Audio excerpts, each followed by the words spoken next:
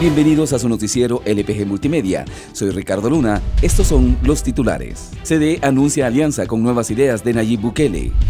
Juzgado intima a la gente que supuestamente ayudó a escapar a Juan José Castillo Arevalo. La policía busca el cadáver de la agente Ayala en un cementerio clandestino vinculado al ex GRP. A continuación, el detalle de estas noticias. El Partido Cambio Democrático anunció este viernes la decisión de incluir a Nayib Bukele como aspirante a precandidato presidencial en las elecciones internas del partido.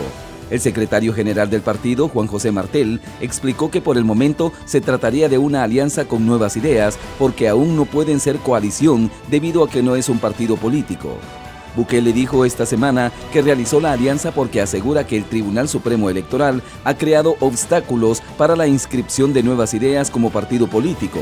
La decisión del CD ha sido criticada por los diputados de Arena, Rolando Alvarenga y Evelyn Batres. El exagente del ex GRP, Carlos Alberto Flores Fernández, alias Soldado, fue intimado hoy por el caso de la policía Carla Ayala en el juzgado octavo de paz de San Salvador.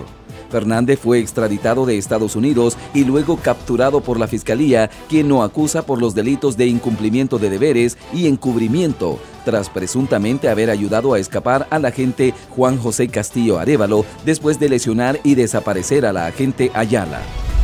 El ministro de Justicia y Seguridad, Mauricio Ramírez Landaverde, confirmó que el cadáver de la agente Carla Ayala está siendo buscado en la zona pantanosa del Bajo Lempa y en otras zonas del departamento de Usulután.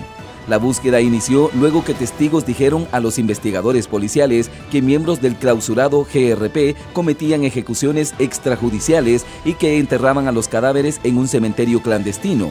Sin embargo, Ramírez Landaverde negó que haya indicios de que el ex GRP tuviera un cementerio oculto.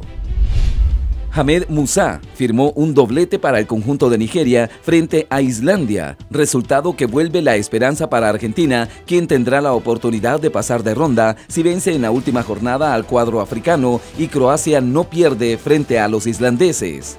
En los otros resultados de la jornada, Brasil logró una sufrida victoria frente a los costarricenses que regresarán a casa. Y Suiza ganó a Serbia 2 por 1, hipotecando el futuro serbio para la última jornada ante el conjunto brasileño.